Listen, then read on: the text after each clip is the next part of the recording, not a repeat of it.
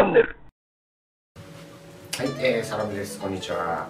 えー、っとですね今日はあ自転車。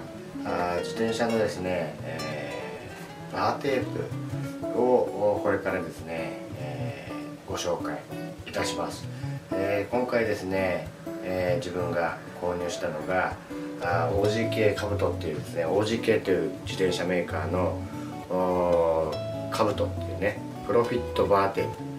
こちらをちょっとご紹介したいと思います、えー、これがね、えー、こんな感じになります、えー、なんて言ってもね優れた耐久性とフィット感ですね。これが売りになっているバーテープになってます、えそれではですね、えこちらちょっと箱をね、えオープンしていきたいと思います。そうするとね、えバーテープ入ってます。どんなよいしょ。こんな形ですね。えっ、ー、とあ。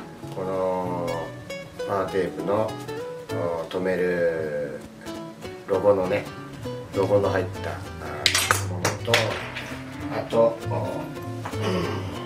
バーエンドですね。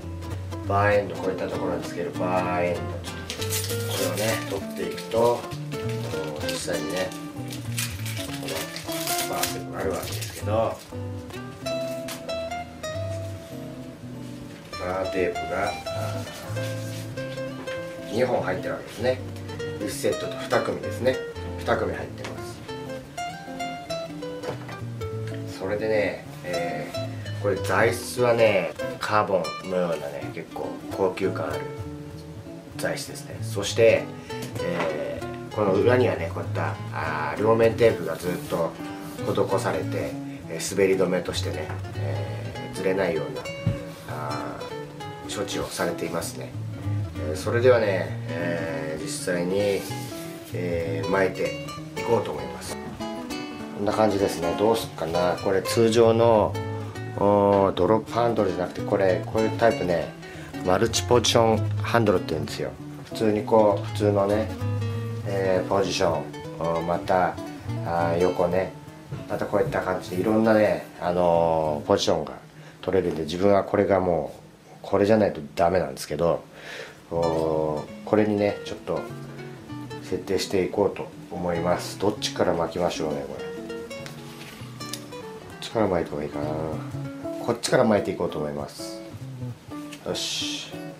それではねえー、この両面テープこのね両面テープを剥がしていきます。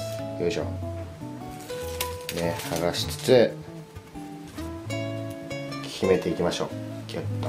ギュッと決めましょう。それでね、えー、これをね、えー、見えるかな。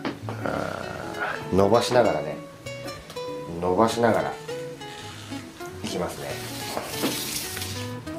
伸ばしながら。ギュッときて。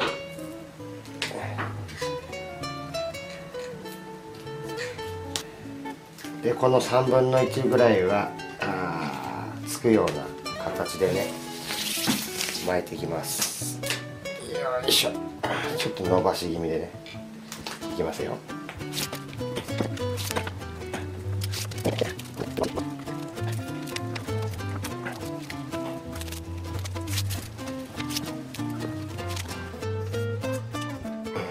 こう切ってね、えー、こんな感じで切りまして。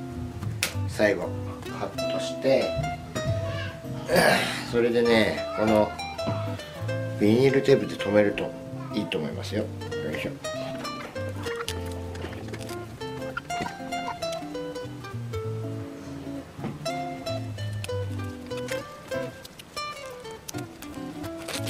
今ね、えー、ようやく、えー、巻き終わりましたね、えー、なかなかですねえー、グリップ。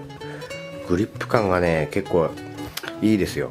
で弾力もねあってクッション性もいいんで、えー、結構疲れない感じかなと思います、えー、それではねこんな形で今回、えー、OGK カブトのバーテープですね。こちらのレビューですね、えー、をお届けいたしました。